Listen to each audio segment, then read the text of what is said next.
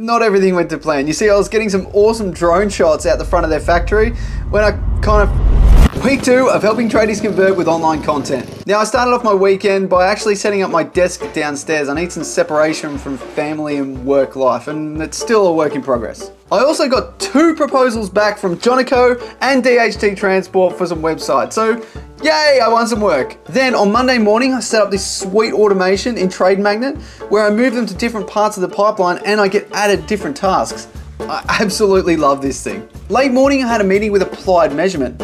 Now, they deliver like sensors and instruments for the industrial sector, and I was helping them finish off a website for their new brand Xtran, where they make these awesome wireless kits. It was really cool to sit down with them and finally get an understanding for what their business is doing. After that, I grabbed some lunch and a coffee with the big dog, Stewie Mack.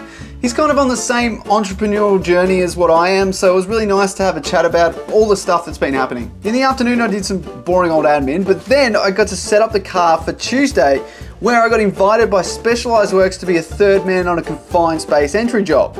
That's right, I'm doing some electrical contracting on the side still, but it was really cool to get out and about with these guys, and this project is absolutely massive, so it was really, really fun day. Wednesday, I was kind of looking forward to all week, because I got to do a photo shoot with Jonaco for their website and these guys are absolutely hilarious. I love working with them. They're just such awesome blokes. But not everything went to plan. You see, I was getting some awesome drone shots out the front of their factory when I kind of flew it too close to a tree. But hey, no damage to the drone, I just had to recalibrate it. And we got some really, really awesome shots. So yeah, Wednesday was awesome. Now, if I was looking forward to Wednesday, I was really looking forward to Thursday because instead of doing any work, I actually spent the day going to the airport with my daughter Maple and we actually met my sister who I haven't seen for about five years.